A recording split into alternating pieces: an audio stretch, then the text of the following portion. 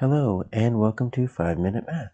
Today we are looking at the third grade concept of classifying shapes and solids. This is standard 3.6a in the great state of Texas, and we're using item number 20 off the 2016 released STAAR test. If you have not done so already, please go ahead and take a moment to pause this video, work this problem out on your own, unpause it, and then we will look at our answers together.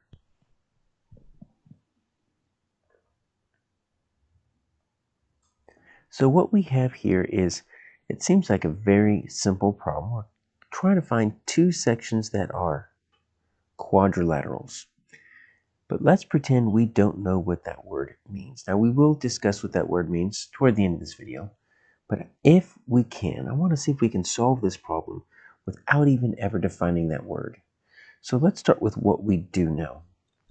We do know that triangles have three sides. That's something that we learn all the way in pre-K or in kindergarten.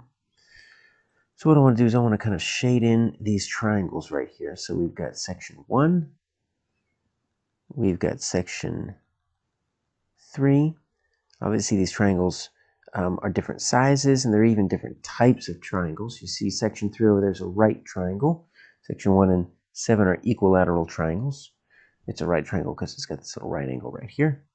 But let's just mark those off the board. So we're not going to worry about sections 1, 3, and 7. So three sides. And we'll say sections 1, section 3, and then section 7. So we've got section 5 right here. So section 5. We can probably name this. It's almost a square, but it's a rectangle. So it's a rectangle. It's got four sides. And it's got its section 5. Now section 2 is kind of a weird looking. Let's see. Let's count this. One, two, three, four, five, six.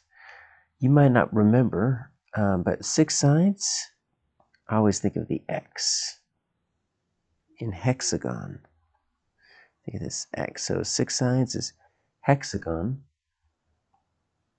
You know, it's not regular hexagon because it is uh, a little bit bigger on top. It is section 2. So we can mark this one out.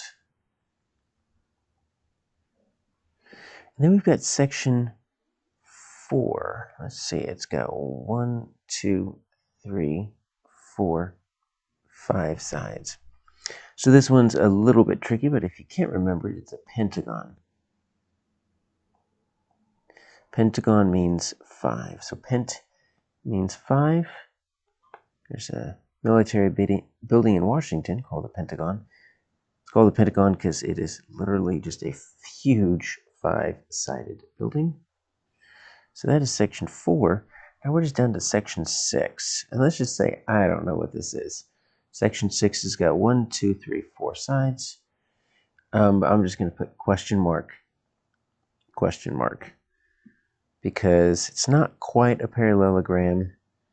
You know what? It might be a trapezoid. Let me just see that. Trapezoid's got two parallel sides. That's a parallel side, and that's a parallel side. It depends on if those two are parallel. They might be, they might not be. I have to get a ruler out to double check. Parallel means they never touch. And I don't know if they're slanting towards each other or not. But either way, it is four sides. And it is section 6. Now, you might be thinking, how does that help? We haven't figured out what quadrilaterals are. But remember, it says there are two sections.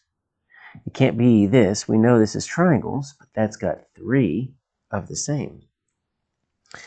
And look, Pentagon's got five sides, but it's only got one section, so that can't be it. Hexagon has got six sides, but it's only got one section. That can't be it. Rectangle and trapezoid both have uh, four sides, and they're one section each. So guess what this means? This is what a quadrilateral means. A quadrilateral is just a big name for four-sided shape.